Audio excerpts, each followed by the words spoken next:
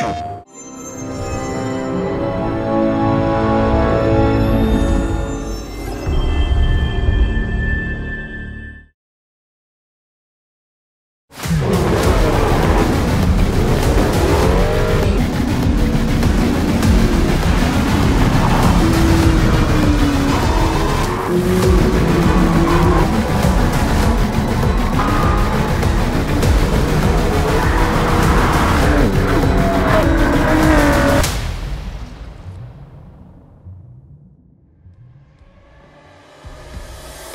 皆さんこんにちは。グランツーリスモシリーズプロデューサー山内和則です。今日は2022年3月4日にリリースする最新作グランツーリスモ7についてお話をさせていただきます。グランツーリスモシリーズは、えー、車への愛と尊敬に満ちた作品として、まあ、約25年の歴史がありますけれどもえー、このグランツーリスモ7は、まあ、歴代のグランツーリスモの中でも、まあ、頂点になる作品だと思います。シリーズの現時点での完成形です、まあ、言ってみればグランツーリスモ25周年記念作品と呼べるものになっていると思います。グランツーリスモ7の開発にあたって僕らがすごく気をつけたことはですね、まあ、これまで自動車文化に接したことがない方でもあの奥深く豊かなね車の世界を知っていただけるように、えー、そこを気をつけました。で僕らの目的は、まあ、あらゆるプレイヤーが楽しめるドライビングシミュレーター、えー、カーライフシミュレーターを作ることでした。ハードコアなグランツーリスモファンの方でも、まあ、シリーズに初めて触れる方でも、えー、この GT7 グランツーリスモ7は楽しめるはずだと思います。車に関してなんですけれども、まあ、車の歴史はすごく長いです。で世界も広大で、まあ、魅力的な車ってたくさんあるんですよね。で今回グランツーリスモ7では、世界中の60以上の自動車ブランド、えー、そして400車種以上の車を用意しました。その車が走る世界、まあ、コースについてなんですがこれは全世界34の、えー、ロケーションと、まあ、90以上のレイアウトを最初から準備しています。えそしてそれらのねコースとか車とか、まあ、そういったものは今後オンラインによるアップデートで追加されていきます。はいそれではグランツーリスモ7について、えー、詳しく見ていきましょう。まず新しいマップ画面です。このマップ画面ってグランツーリスモ7のあらゆるフィーチャーへアクセスできるメニューになっています。来る時にイメージしていたのはえカーライフを楽しむための、まあ、車リゾートっていうものがあるとしたら、まあ、キャンペーンモードを始めるにあたってまず最初にやることは与えられたクレジットでコンパクトカーを購入するところから。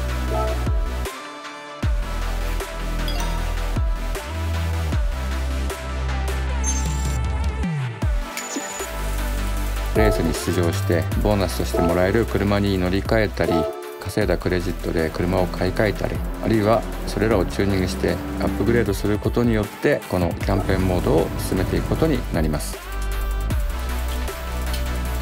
まあ、おそらく過去のシリーズを遊んでいただいた、えー、プレイヤーの皆さんにとっては、まあ、伝統的な遊び方だろうと思います。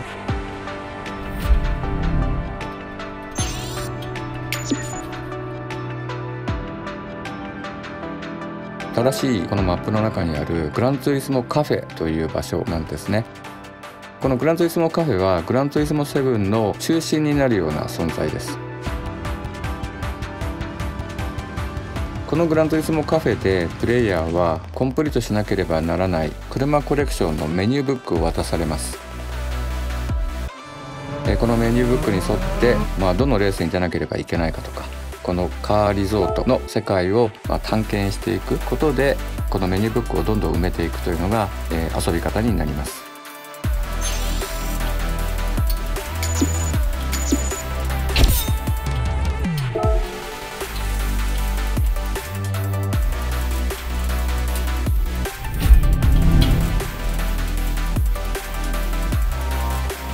ランツーリスモカフェでは購入した車の解説であるとかあるいは集めたコレクション、まあ、その説明を聞くこともできます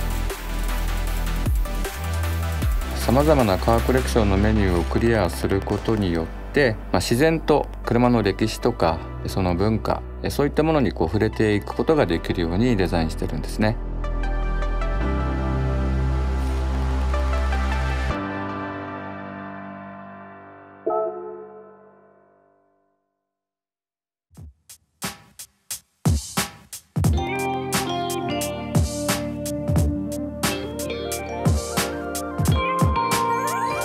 ドセントラルは、まあ、新車を購入するショッピングモールですね。2001年以降の車たちをここに集めています。およそ300車種あります。え自動車ディーラーが集まっている場所です。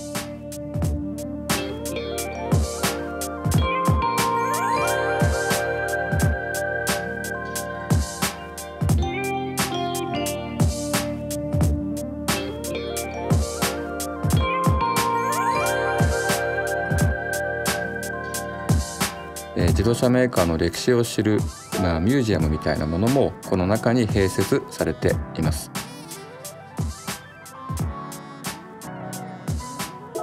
ここはポルシェのミュージアムですけれどもポルシェ博士が、まあ、ご自身の、設計事務所を設立したところから始まっていますね。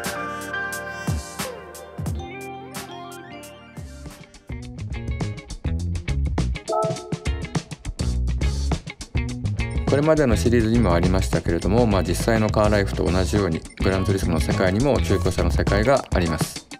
ユーズドカーディーラーは、まあ、新車で購入するより、まあ、リーズナブルな価格で車が購入できるというのが基本なんですけれども、えー、中古車の中にはプレミアム価格がついてるような車たちがあります。まあ、主に90年代の日本のスポーツカーたちですね。そういったものもこの中古車ディーラーに入っています。この車のラインナップなんですけれども毎日更新されていく予定です。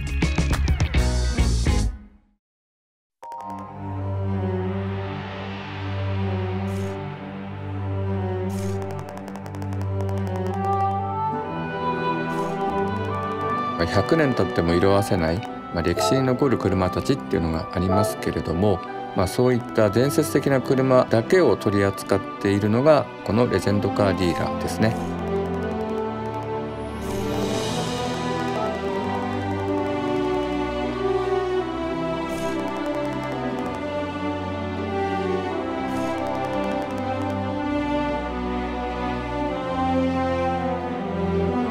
えーと、GT7 に含まれている、まあ、たくさんのコースにアクセスする場所を、まあ、ワールドサーキットという場所に集めました、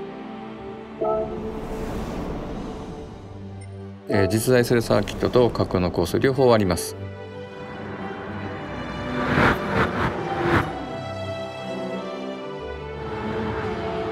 過去のシリーズにあった、まあ、伝説的な架空のコーストレアルマウンテンであるとかディープフォレストであるとかハイスピードリングといったコースも、まあ、新しいテクノロジーでここに復活しています。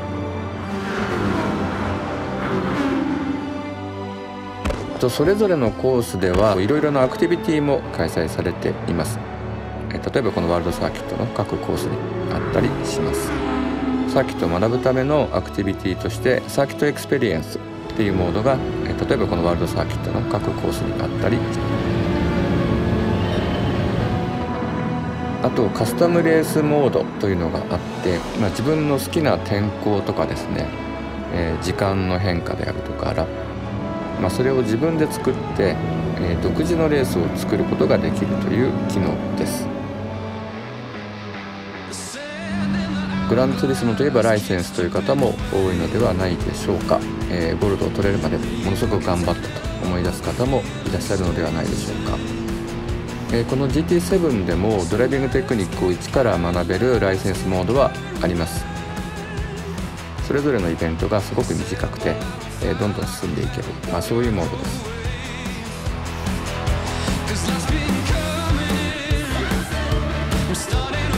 ミッションレースは、まあ、ユニークなイベントを集めた場所ですね。例えばドラッグレースもこのミッションレースの中に入っています。ドラッグレースに勝つためにはパワーのある車にチューニングするってことも大事ですしゼロスタート時の、まあ、アクセルワークもすごく重要になります。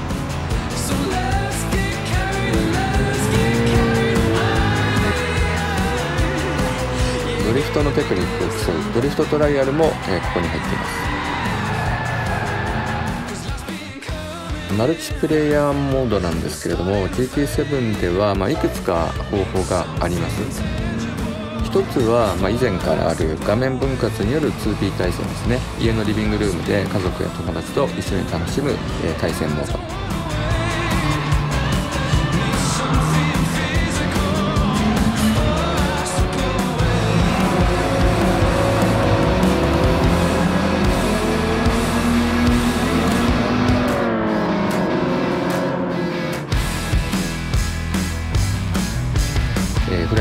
レンドと楽しむ、ま、ロビーであるとか、えあるいはロビーをもっとカジュアルにした、ま、ミーティングプレイスであるとか。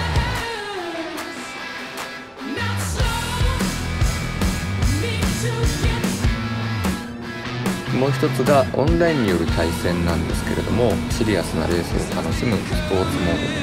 です。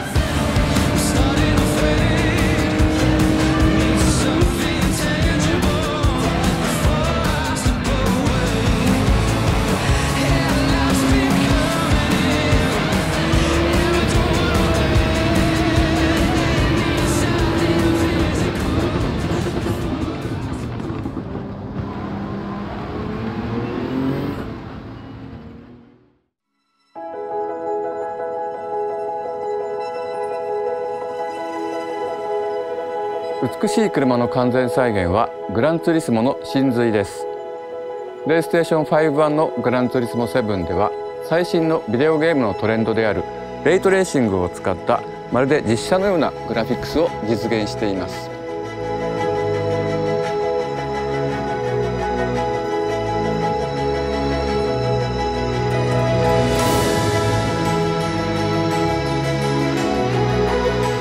物体のリアルな反射であるとかライティングを再現するのがレイトレーシングなんですけれども、まあ、そのレイトレーシングが最も得意とする表現の一つが、まあ、おそらく車の表現なんではないかと思います。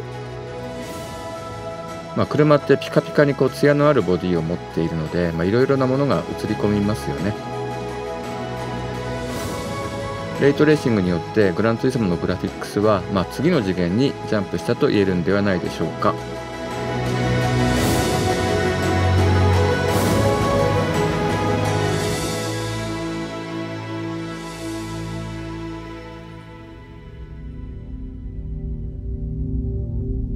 皆さんが見ている空の色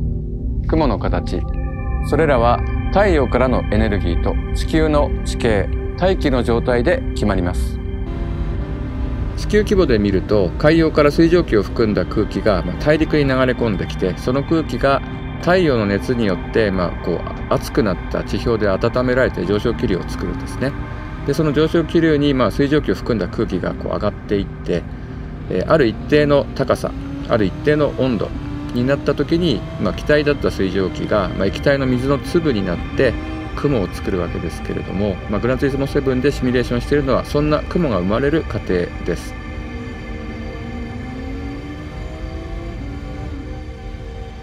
グランツイスモ7では過去の膨大な気象データをもとにそれぞれの地域で特徴のある湿度とか温度だとか気圧が設定されています。日本の空は日本らしくカリフォルニアの空はカリフォルニアらしく変化することになります。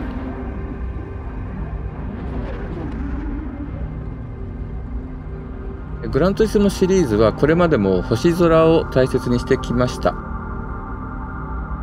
えー、GT7 では、まあ、さらに高品質な表現を目指しています。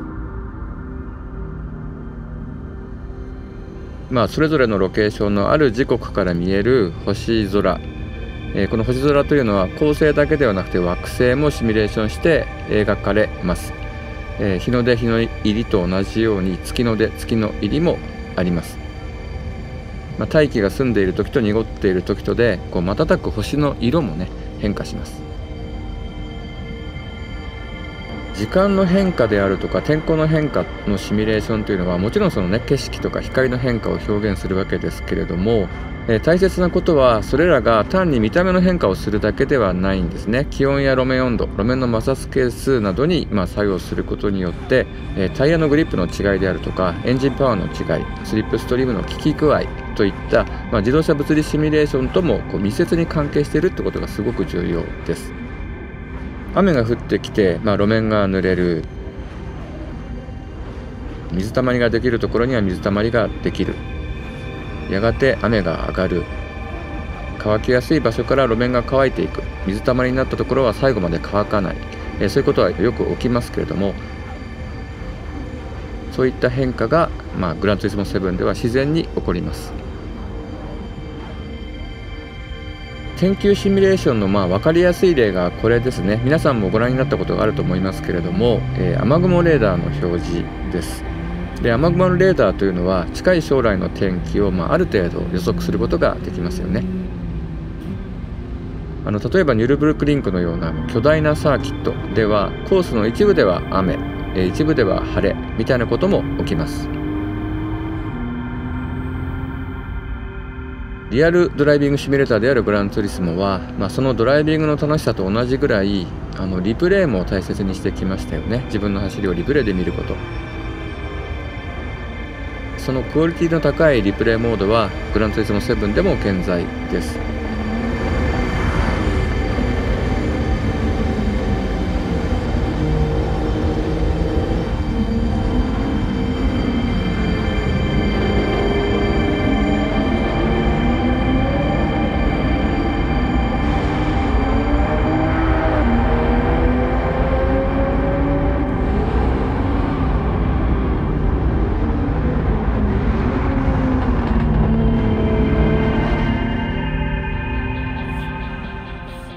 今回はですね新しいリプレイモードとして、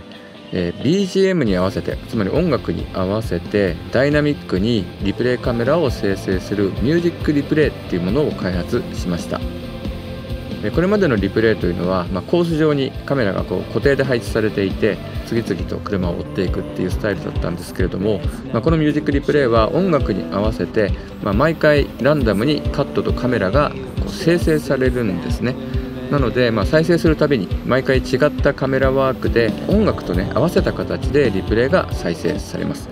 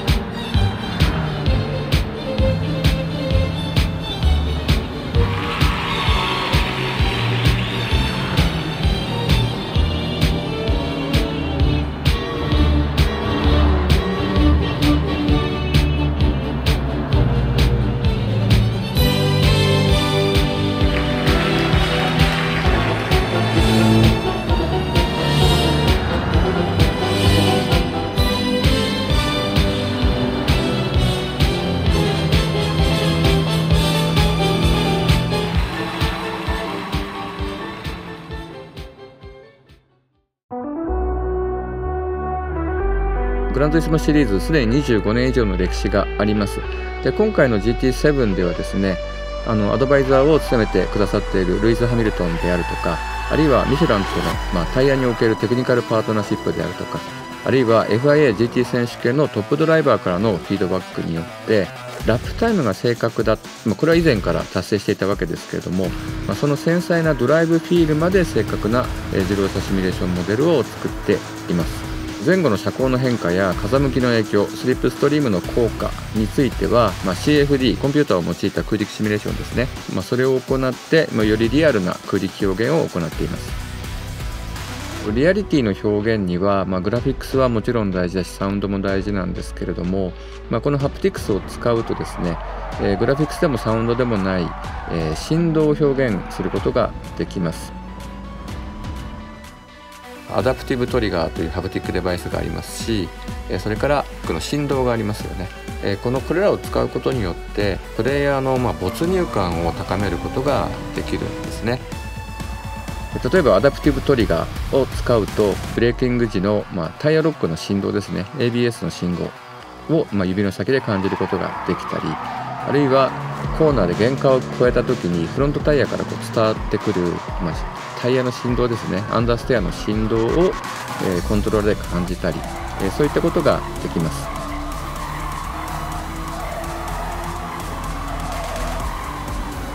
まあ、こういった振動デバイスを使うことで、えー、本物の車のステアリングを握ってその下のね路面を感じ取っているような、まあ、そういうドライブフィールを再現できるんですね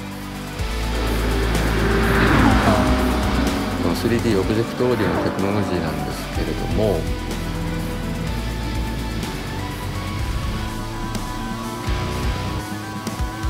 あの僕たちは日常的にこう音がどこから鳴っているのかを感じることができますよね。左から鳴ってるのか右から鳴ってるのか正面なのか上なのか後ろなのかみたいなことが分かるようになってますけれども。人間はこう頭の形とか耳たぶの形状だとか、まあ、左右の耳に音が到達する時間差だとか、まあ、そういうものをこう繊細に判断して、えー、その音がどこから鳴ってるのかっていうのを判別してるんですけれども。えそれを再現しているのが、えこのグランツースモ7の 3D オーディオのテクノロジー。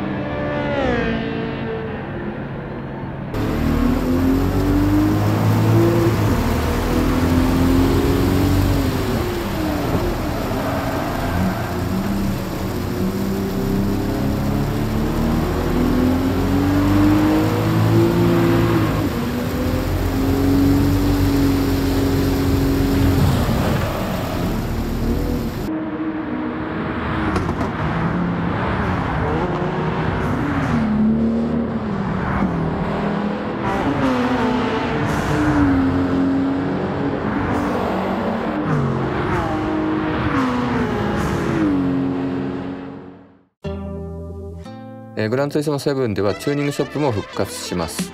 グランツイスモ7ではま1台あたり60種類を超えるチューニングパーツが用意されています。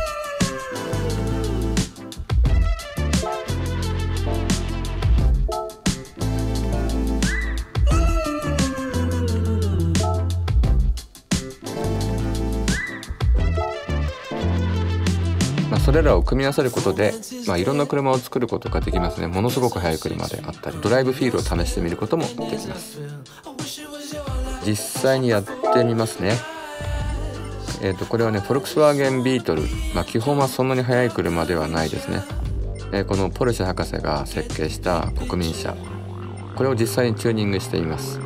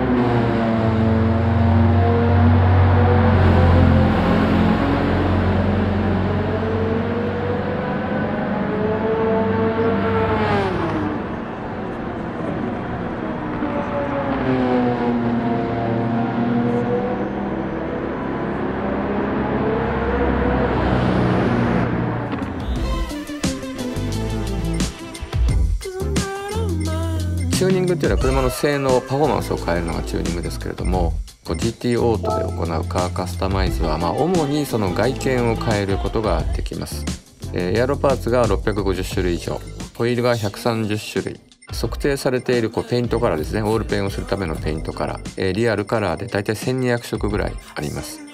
まあ、1台あたり平均するとですね数十種類の、ま、カスタマイズパーツが用意されていることになります。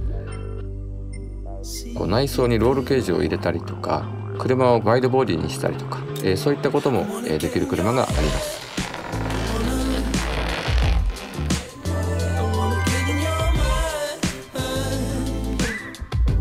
えー、車のリバリーいわゆるカラーリングを作れるリバリーエディターですけれどもそれも進化していますあの以前にはステッカーを貼ることができなかった場所にもステッカーが貼れますし1台の車あたりに貼ることができるステッカーの数の上限も増えています。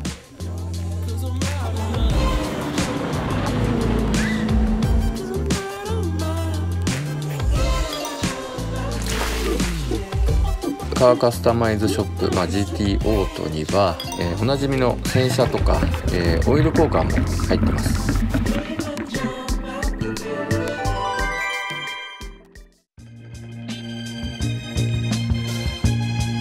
ケープスは新しい写真の世界です。また好きな車と一緒に全世界を旅するモードでもあります。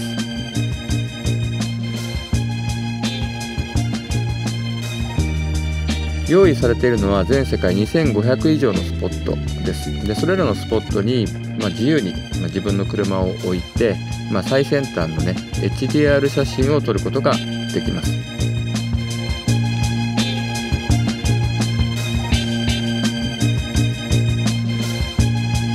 スケープスでは、まあ、リアルと同じ光の情報と、まあ、自由度の高いエフェクトを、ま、使えるので、まあ、これまでリアルな写真ではほとんど不可能だった、ま、高度な写真表現が可能になります。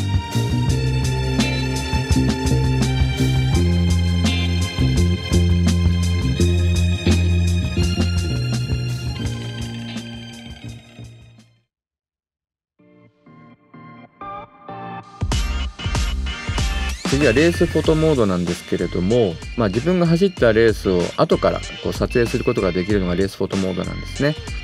えー、本物のサーキットに行って実際に写真を撮るのはすごく大変なんですけれどもグランツースモ7なら、まあ、プロのフォトグラファーでもなかなか撮影できないような、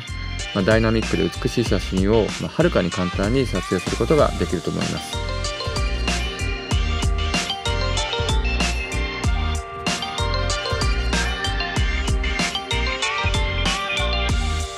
グランツリスモっていうのは見方によってはさまざまなコンテンツを生み出すことができるこうクリエイティブなツール群とも言えるんですよね。自分が走行したリプレイであるとか撮影したフォトであるとかあるいは、え作ったリバリーであるとかでそれらをストックしたり誰かに公開したりあるいは他のプレイヤーが作った作品を、まダウンロードしたり探したりする場所それがショーケースです。